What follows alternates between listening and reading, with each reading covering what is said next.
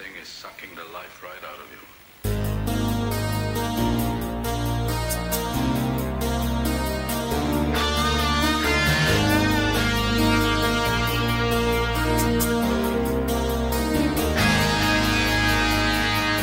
So now it seems I found the one, the girl who haunts my dreams. And now she's falling from me right before. But I can feel the intensity when you're next to me. A